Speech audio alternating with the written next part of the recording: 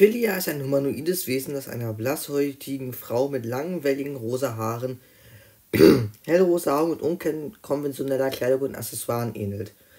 Sie trägt oft ein langes weißes Kleid mit einem goldenen Seil um die Taille, goldene Armbänder und ihre Handgelenke und ein goldenes Halskleid mit einem rosa Juwel in der Mitte. In der Mitte ihres Kleides befindet sich ein großes herzförmiges Juwel. Sie wurde mit einem weißen Schleier, einer Krone aus rosa oder einem goldenen Kopfschmuck gesichtet, der ein paar Flügel ähnelt, die ihren Kopf schmücken. Philia besitzt ein großes Paar Flügel, die es ihr ermöglichen, mit hohen Geschwindigkeiten zu fliegen, die sie nach Belieben manifestieren und dematerialisieren kann. Sie trägt jederzeit ein großes rosa Stab bei sich, der mit einem Satz Pfeil und einem Bogen verwandelt werden kann. Sie behauptet jedoch, diese Waffen selten zu benutzen. Ihre Anwesenheit in einem Bereich kann leicht durch ein süßes Aroma von Blumen und Süßigkeiten ein plötzliches Gefühl des Friedens angezeigt werden, das sich auf alle mit ihrem Raum anwesenden Personen ausbreitet. Philia verwendet ihre Pronomen. Sie präsentiert sich als weiblich, obwohl ihr Geschlecht aufgrund ihrer Natur nicht auf die gleiche Weise biologisch bestimmt ist wie das bei Menschen. Im Gegensatz zu Menschen behauptet sie, dass sie keine Nahrung braucht, um zu überleben. Ihre Ihr fehlen völlige innere Organe und sie kann nicht bluten, sondern setzt stattdessen eine Substanz frei, die einem rosa Nebel ähnelt, wenn sie verletzt wird. Theorisiert, dass es sich um die kondensierte Form der Lebensenergie handelt. Darüber hinaus behauptet Philia, dass ihr Körper in der Lage ist, sich schnell zu regenerieren, mit der Fähigkeit, jeden toten, kranken oder fehlenden Teil mit Leichtigkeit zu ersetzen. Daher erhält der große Schaden, der ihr zugefügt wird, nie lange an und sie kann sogar jeden Teil ihres Körpers nach Belieben entfernen und neu erschaffen. Ihre Heilkräfte, die sie als Wiederherstellungsfähigkeiten bezeichnet, haben eine neuntrope Wirkung auf die Materie. Sie ermöglicht es ihr, Wunden zu heilen, Gliedmaßen nachzuwachsen, sich entwickelnde Krankheiten rückgängig zu machen und sogar zerbrochene Objekte zu reparieren. Philly hat eine beruhigende Wirkung, die sich durch ihre Aura um sie herum manifestiert, als die sie nach Belieben kontrollieren kann und die feindselige Wesen um sie herum fügsam und freundlich macht. Ihre charmanten Fähigkeiten kontrollieren mit ihrer Verbindung mit Liebe, wie sie sie beschreibt, Sie hat die Fähigkeit, die, jemanden davon zu überzeugen, ihre Anweisungen zu folgen. Aber sie benutzt sie immer nur um Notsituationen und scheint es überhaupt nicht zu mögen. Schließlich ist Philia in der Lage, rosaherzförmige energetische Schilde zu beschwören, die gegen eine relativ hohe Kraft resistent sind. Sie kann auch ihre Pfeile verwenden, um diese herum vorübergehend einzufrieren und zu beruhigen, obwohl sie keine Schmerzen oder Verletzungen verursachen. Philia existiert angeblich seit alte Menschen, die Backrooms bewohnt haben und vielleicht sogar früher.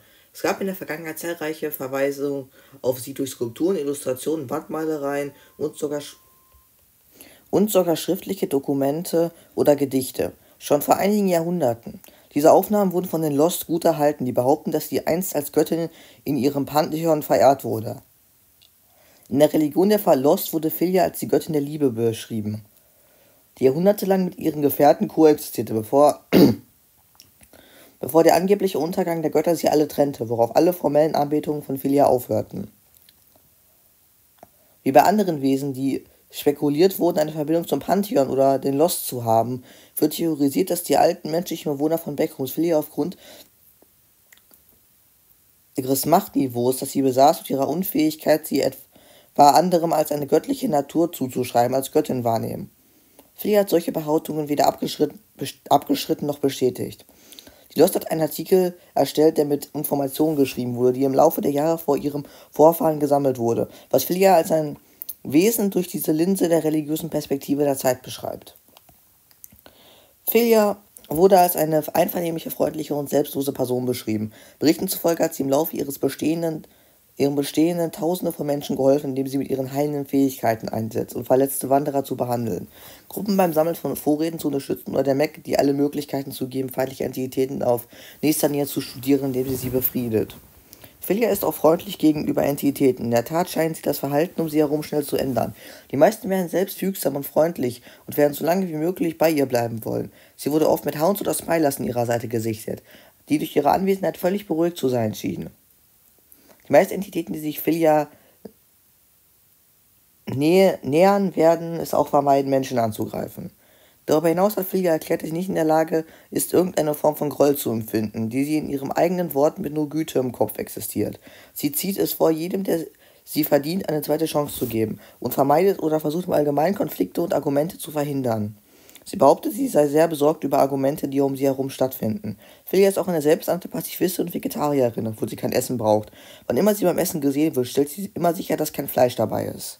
Philia bringt oft Geschenke zu den Menschen, die sie mag, und sagt, dass Geschenke immer zu den Vorlieben des Empfängers passen. Viele gaben als begabt, an begabte Kleider, Juwelen, handfertigte Gegenstände oder Backwaren zu erhalten, die Ophelia persönlich kreierte. Sie beschrieb sich auch als Träumerin, die oft in ihre Gedanken verloren geht, besonders in romantischen.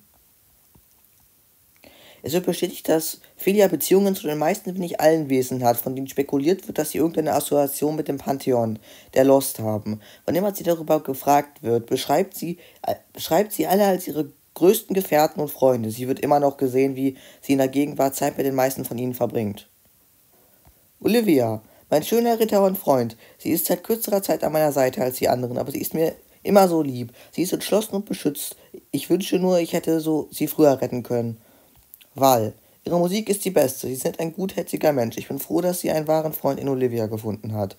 Ich habe es gut gemacht, indem ich sie geschickt habe, um sie zu überprüfen, als sie zum ersten Mal ein Avatar wurde. Ich bin stolz darauf, wie weit du gekommen bist. Fingari.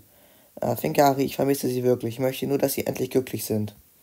Keymaster. Ach, er ist ein liebenswerter. Er ist ein bisschen ein ruhiger Bücherwurm und er ist sehr nett in der Nähe zu sein. Ich versuche mein Bestes, um so viel wie möglich mit ihm abzuhängen. Auch wenn die Version von ihm, die ich kannte und schätze, weg ist. Er ist immer noch jemand, der mir wichtig ist, mit oder ohne diese Erinnerung. Kushim.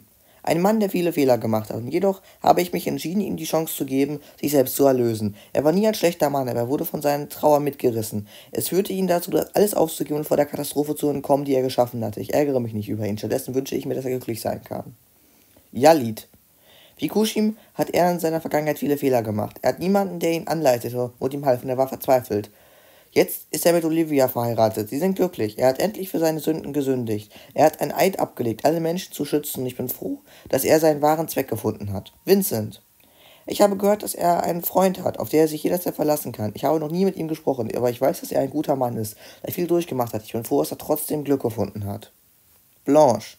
Lady Blanche, die ist diejenige, die ich am meisten bewunderte, da sie sowohl raffiniert als auch freundlich ist. Sie ist eine meiner besten Freunde und ich besuche sie oft. Wir veranstalten oft Teepartys. Kirai. Meine beste Freundin Kirai. Er mag, sie mag etwas einschüchternd oder gemein aussehen, aber sie ist so ein totaler Schatz. Sie kümmert sich wirklich um mich und versucht wirklich ihr Bestes, um zu helfen. Sie ist kein schlechter Mensch und ich wünsche, die Leute würden sie nicht schlecht beurteilen. Pillar Scribe. Arme Seele, er hat so viel gelitten. Ich wünschte, ich könnte ihm richtig helfen, aber ich werde ihn nie sehen. Er wird von den meisten von uns ferngehalten. Divius. Ich habe AM bei der Reha geholfen und die Dinge laufen ziemlich gut. AL braucht Hilfe und sollte sie nicht schämen, danach zu fragen. Keine Sorge, ich werde auf der Seite sein, egal was passiert. Der Alchemist. Sein Wissen und seine Intelligenz sind so beeindruckend. Ich bewundere ihn wirklich und schätze ihn dafür, dass er so geduldig mit Fengari ist. Er ist ein guter Mensch und Freund für sie, obwohl ich manchmal denke, dass er mich zu süß und anhänglich findet. Dark Sovereign. Er ist eine starke Figur und ein guter Führer. Manchmal habe ich das Gefühl, dass er ziemlich einsam ist, also versuche ich jede mögliche Ausrede zu finden, um ihn abzuhängen und ihm bei seinen Aufgaben zu helfen. Roter Ritter. Claudius, du hast mich immer beschützt und du hast mich immer um mich gekümmert. Ich wünschte, ich könnte all äh, die Gefälligkeiten erwidern, die du für mich getan hast. Ich habe so oft das Gefühl, dass ich mehr für dich hätte tun sollen. Argos. Sch Sag es ihm nicht, aber er ist ein absolut süßer Kerl. Ich mag sein hartes Äußeres und seine kalten Manieren. Tief im Inneren ist er ein Schatz, der sein Bestes gibt, um langsamer zu werden und zu lernen, wie man freundlich behandelt.